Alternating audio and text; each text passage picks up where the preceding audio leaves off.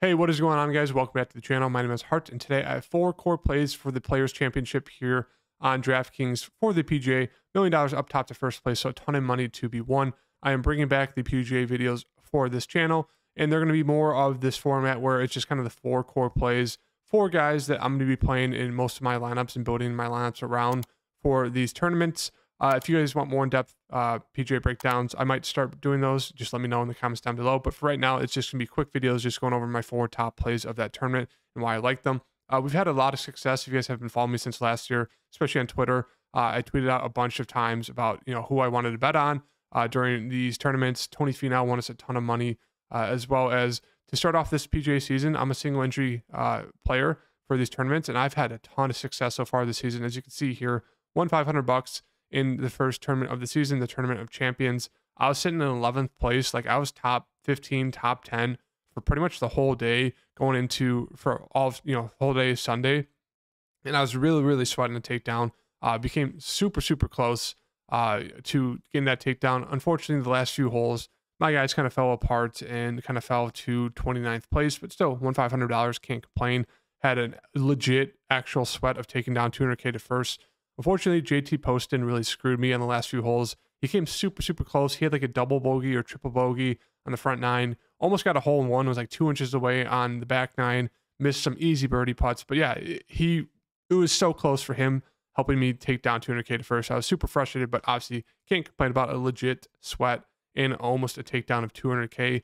And then the following week, um, I think this was two weeks after. I think the following week was some random tournament that no one went to uh, none of the star guys. But then the following week after that, uh, easily cashed.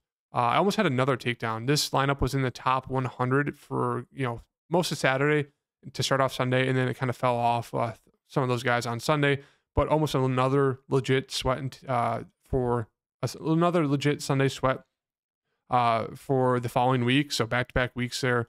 Uh, did the showdown slate as well. I was able to cash that. Moving on to the, the following week, uh, I was able to you know, cash out, nothing too crazy. Obviously, make some money there. And then the following week after that, was able to cash once again. So I've had a lot of success so far this season with these PGA plays and picks.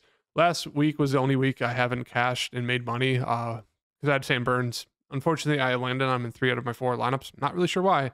And of course, he had his worst career round, worst career tournament of his career. And it was just, it was god, god awful. It, it just made me so mad. Had a bunch of other good picks like Spieth, like Scotty, Viktor, Cantlay, all over those guys. But unfortunately, you know, when you have a guy who shoot seven over and have one of the worst career uh, starts, to, uh, Thursday, Friday starts to his uh, career, it does it kind of screws you. But yeah, ton of success. Looking forward to getting into these four core plays for you guys. Hope you guys like the series. If you do, hit that like button and subscribe, and I will see you guys in my four core plays. So the first player I have that's going to be a core play is going to be Scotty Scheffler here at 10-6 for me. Uh, the reason why I like him is he offers a very cheap price tag for a guy who's been playing fantastic recently and pretty much the past two years straight. As you can see, started off the, the Sentry Tournament Champions with a tie seventh, then he got tied 11th at the American Express. Then he obviously defended there at the Phoenix Open uh, a few weeks ago. Invit- Invitational tied 12, and then last week at the Arnold Palmer, pretty much the hardest course on the PGA Tour besides the four majors, uh, Bay Hill and he got a tied fourth. He was right there going into the fourth round. And then unfortunately, he kind of had, uh, as you can see here, just not the best round here off the off the tee. He struggled a little bit. Approached the green, he wasn't the best. Around the green, he was a lot better than he was and has been for the whole season. But then putting, it was just you know a bad putting uh, day for him as well.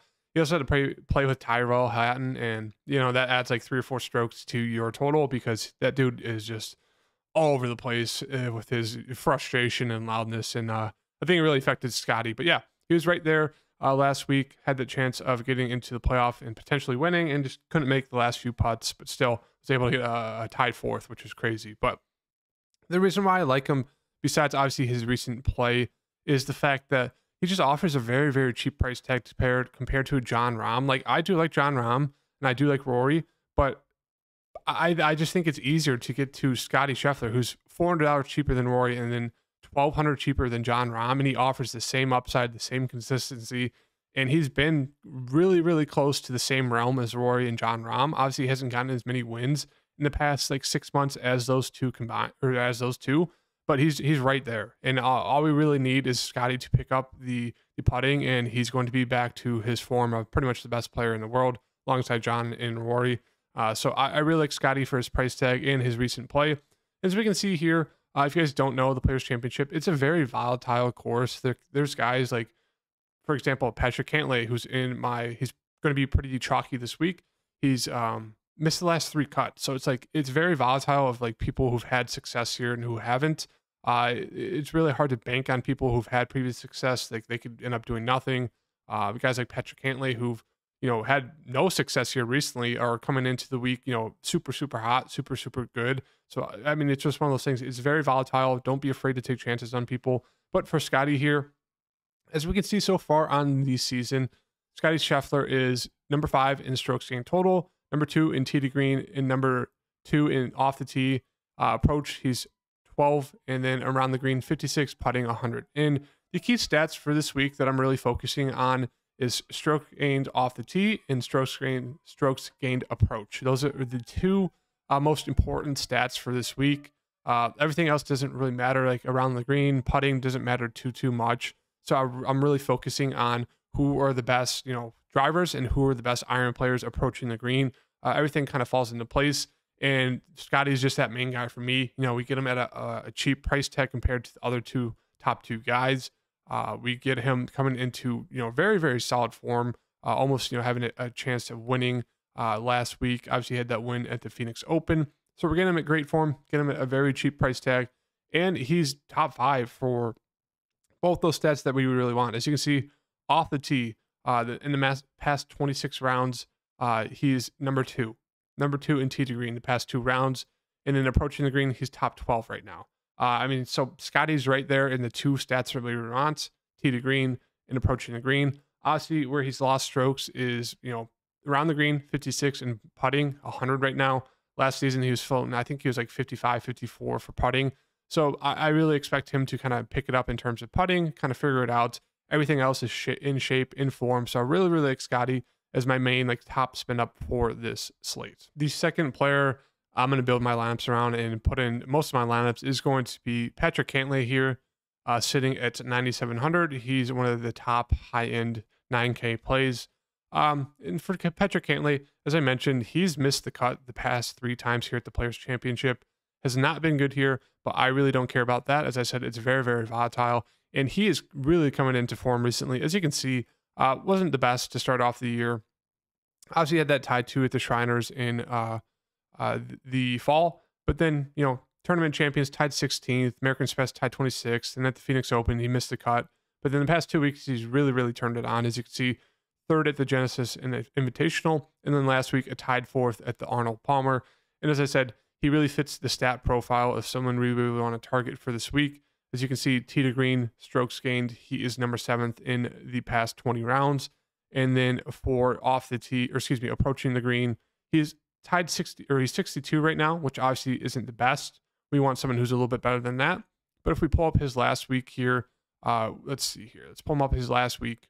As you can see, at Bay Hill, one of the toughest courses on tour, he was number 16 in terms of approaching the green. So off the green, he was number two last week.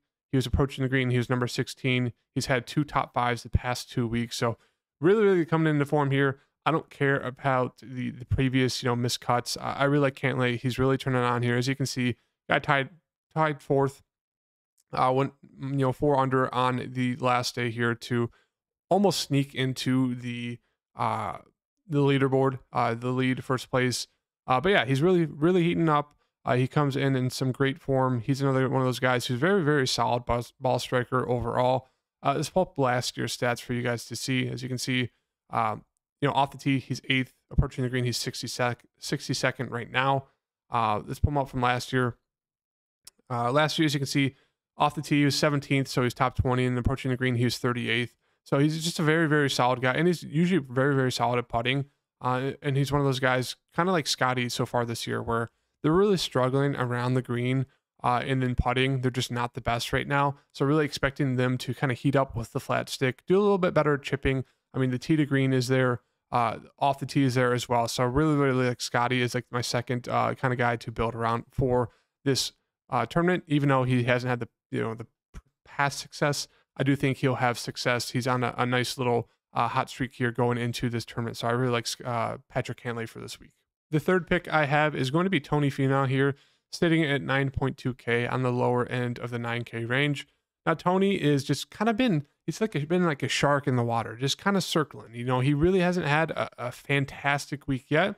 You know, he had that tie seventh at the Sentry Tournament Champions, tie 16, tie 9, tie 14, tie 20, tie 24th. So he's really been floating around the top five, hasn't broken into it yet. Uh, but that's because kind of around the green and the putting's really kind of destroyed Tony.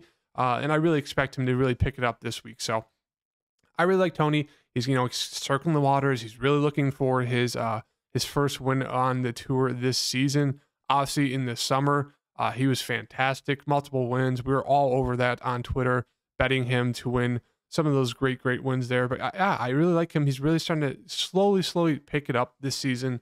Uh, as we and he kind of fits the bill, as I mentioned. We want guys who are great off the tee. As you can see, off the tee, he's 23rd usually a little bit better, but he's slowly starting to pick that up. Approaching the green, obviously he's third on in the whole field right now in the past um, 25 rounds. Excuse me, past, yeah, past 25 rounds, he's number three in the whole field on the approaching the green. As you can see right now, he's really struggling around the green, really struggling putting. Who does that fit?